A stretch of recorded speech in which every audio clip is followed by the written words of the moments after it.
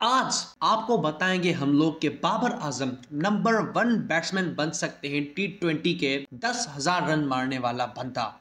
ये बाबर आज़म बन सकता है। कैसे बन सकता है? वो अभी आपको बताएँगे। आपकी लिस्ट में आपको कौन लगता है कि जो अभी के दौर में चल रहा है नंबर वन की लिस्ट पर वो कौन है? आपकी नज़र में होगा विराट कोहली? नहीं। आपकी नज़र में होगा डेविड ऑर्नर नहीं, वो भी नहीं है। आपकी नज़र में होगा एरन फिंच नहीं, वो भी नहीं है। आपकी नज़र में होगा जॉस बटलर नहीं, वो भी नहीं है।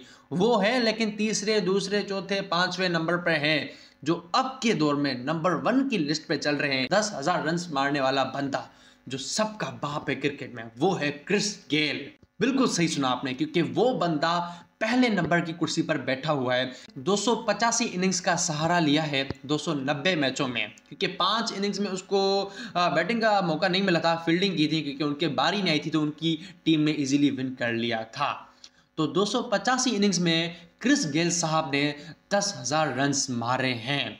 और दूसरे नंबर पर आते हैं विराट कोहली, जो कि दो सौ इनिंग्स में टेन थाउज़ेंड रन बना है विराट कोहली ने। यानी ये दूसरे नंबर पर हैं, जबकि विराट कोहली की लोग इतनी वाह वाह करते हैं तो भाई इसको पहले नंबर पर होना चाहिए था, लेकिन ऐसा नहीं है, क्योंकि इसका थोड़ा स्ट्राइक रेट जो है ना, वो कम है, जिस वजह से इसको मात खानी पड़ी है, दूसरे नंबर पर है।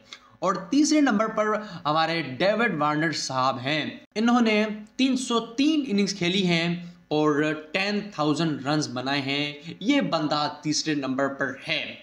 अब बात हम लोग ये करेंगे वीडियो भी बाबर आज़म के बारे में बनाइए। तो भाई अब हम लोग बात करते हैं कि बाबर आज़म कैसे नंबर वन की कुर्सी पर बैठ सकते हैं। तो अभी आपको बताएँगे देखें बाबर आज़म ने दो इनिंग्स खेल ली हैं और बाबर आज़म ने रन्स बनाए हैं 9,731 यानी कि बाबर आज़म को 10,000 रन्स बनाने के लिए दो रन्स चाहिए जस्ट और जस्ट और बाबर आज़म दस हज़ार रन बना लेंगे। लेकिन सवाल ये बनता है कि बाबर आज़म कैसे बनाएँगे? तो अभी आपको बताते हैं।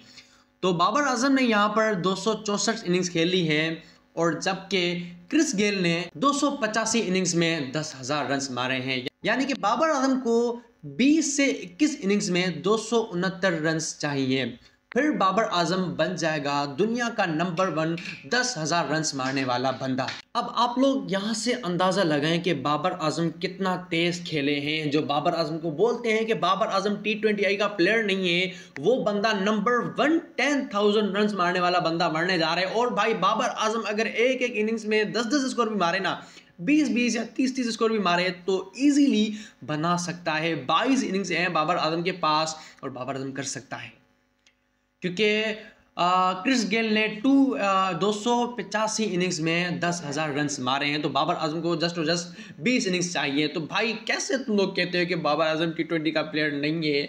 यार, वो नंबर वन बनने जा रहा है और बन जाएगा भाई। कुछ ही दिनों के अंदर बन जाएगा। और मैं वीडियो भी बना दूँगा बाबर आज़म के बारे में कि वो नंबर वन प्लेयर बन गया है, दस हज़ार मारने वाला बंदा। तो यार मतलब बस हेडर को तुम लोग इग्नोर करो और ये बहुत खुशी की बात है, हम पाकिस्तानियों के लिए कि एक बंदा सिर्फ़ पाकिस्तानी इतना अप जा रहा है और जिस वजह से हम पाकिस्तान टीम का नाम हो रहा है। बाकी सब आलू चालू है, उनमें किसी में भी इतना हाल नहीं है जितना कि बाबर आज़म के अंदर हाल है। तो इस वाली वीडियो में इतना ही। अगर आपको ये वाली वीडियो लगी तो इस वीडियो कर दे लाइक लाइक तो करोगे करोगे। ज़ाहिर बात है बाबर आज़म के बारे में वीडियो बनाई तो बाबा सबका फेवरेट है।